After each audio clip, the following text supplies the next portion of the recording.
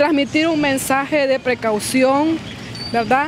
Cuando seamos conductores, que conduzcamos con precaución, que utilicemos las medidas de seguridad, revisar los vehículos, utilizar cascos, ser muy precavidos y cuidar la vida, ¿verdad? Ya que la vida no retoña. Queremos concientizar más a los jóvenes porque eh, una de las mayores partes que hay pues, de los problemáticas es la conducción con, en estado de ebriedad y el exceso de velocidad. Entonces queremos concientizar a, a los jóvenes, también a las personas mayores, que hay personas en casa que los están esperando, que no hay por qué apresurarse. Sabemos pues que con una caminata pues a simple vista no vamos a evitar lo que son los accidentes de tránsito, pero es el primer paso, es el llamado que le estamos haciendo a la gente para que se eduque, para que sepa que, maneje con responsabilidad. Hacer una campaña en los accidentes de tránsito porque son jóvenes, también son jóvenes, son estudiantes nuestros también los que han muerto, entonces no queremos seguir en esto, que nuestra gente tenga conciencia de que tenemos que cuidarnos.